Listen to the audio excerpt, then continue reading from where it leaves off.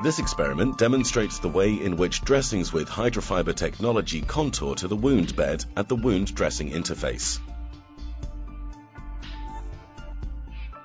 We cut strips from two dressings.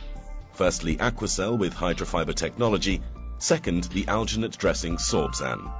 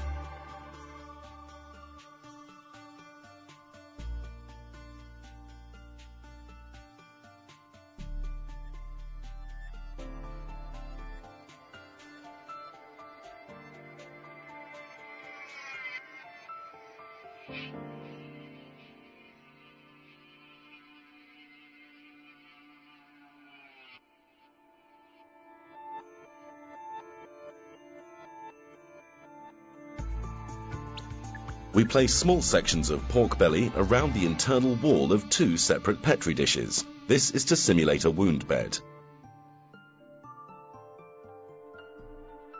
Next, we lay similar sized sections of dressing, one a piece of Aquacel dressing with hydrofiber technology and one a piece of the alginate dressing Sorbsan, over the pork in each dish.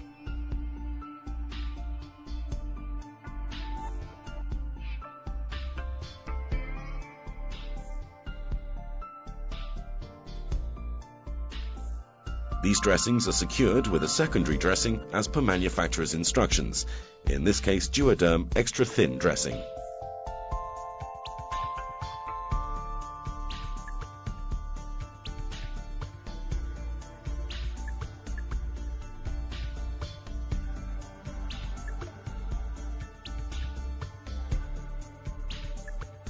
In the dry state, there appears to be little intimate contact in either instance. Now we push a syringe through each piece of meat so that the needle rests on the wound surface. Fluid pumped through the needle simulates exudate from a wound. We can clearly see as the Aquacel dressing with hydrofiber technology begins to gel and contour over the simulated wound bed, forming an intimate contact between the dressing and the wound. There are no air pockets or dead spaces between the dressing and the wound. By contrast, the Sorbsan dressing does not form an intimate contact with the wound bed. There is pooling of fluid and pockets of air exist between the dressing and the wound bed. The close contact to the wound bed that Aquacel dressing containing hydrofiber technology is able to achieve eliminates the dead space where bacteria can thrive. The gelling action at the wound surface provides a warm, moist environment that is favorable for wound healing.